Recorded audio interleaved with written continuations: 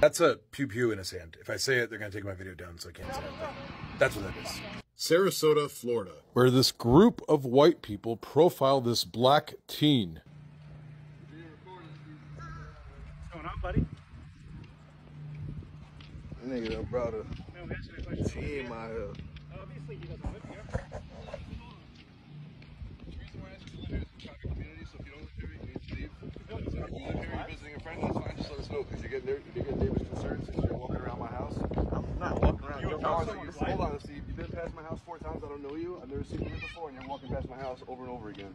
So if you live here, or you have a friend you're visiting here, that's fine, let I'm me not know. in front of your house. You're you in will front of my actually, house. You've fo- been you're in front of actually, you're actually, fo- you're actually following me. You went up the wrong way. We're just asking a question. You live out here? I'm part of the neighborhood. You're part of the neighborhood. Does that mean you live here? It's simple. like, bro, what? I'm asking a question. You live here? You up to my wife. Bro, I didn't go up to your wife, bro. I don't know who you're talking about. For real.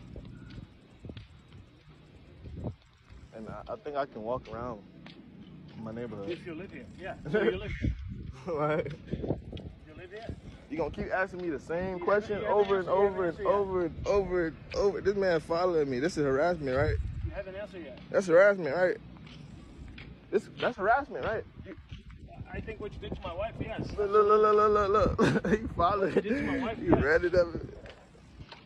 Yes, he lives there. He absolutely lives there. And he doesn't have to answer to anybody who decides to profile him. He doesn't have to.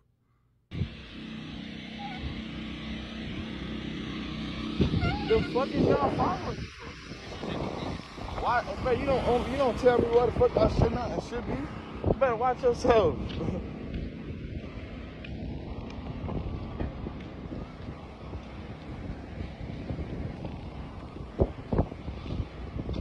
the fuck?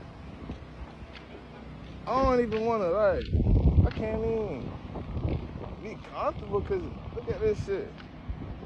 Then y'all like y'all covering up the, ro- the block the walk the block way for people. They trying to walk and shit with their kids.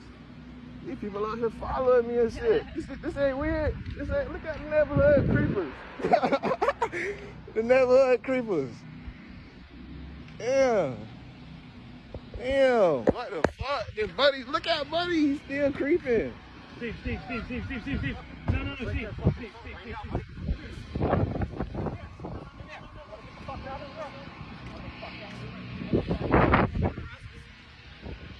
Fuck?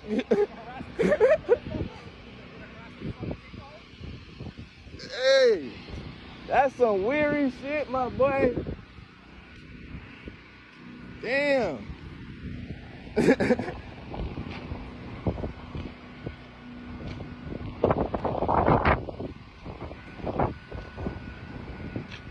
Yeah, they ran this bitch out here creating problems and shit. This shit wild as fuck.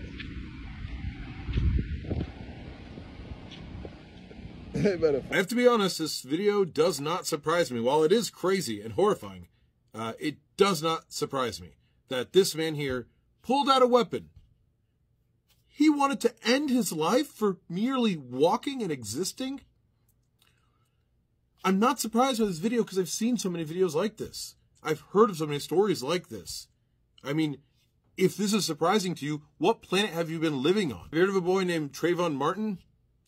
Have you heard of Ahmaud Arbery? This is not uncommon. In fact, I've even covered a video about this very thing a couple years ago. It was called Oral and Boogers. It was about Howard Oral Hughes and Donald Corsi in Sanford, Florida, same place Trayvon Martin was murdered, where they decided that a black kid who was driving through their neighborhood, because he was visiting a friend, he, he had every right to be there, but they decided because he was going too fast that it was okay for them to throw a landscaping stone through his car window while he was driving, almost killing him.